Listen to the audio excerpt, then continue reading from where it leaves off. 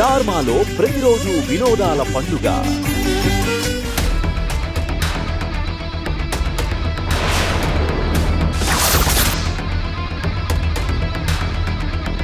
నేను నీ పట్ల చేసిన తప్పు నన్ను మనశ్శాంతిగా ఉండనివ్వట్లేదు. అందుకే నన్ను క్షమించమని అడగడానికి వచ్చాను. నీ కళ్ళబొల్లి మాటలు విని మోసపోవడానికి నేను పాత రామలక్ష్మిని కాదు నాకంటూ ఒక గుర్తింపునిచ్చిన ఓ మంచి మనిషికి భార్యని. సంతోషంగా ఉన్న మా జీవితంలోకి నువ్వొచ్చి అల్లకల్లోలం చేయాలని చూడకు. ప్లీజ్ రామలక్ష్మి.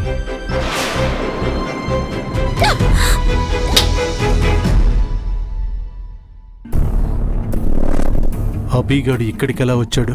ఎందుకు వచ్చాడు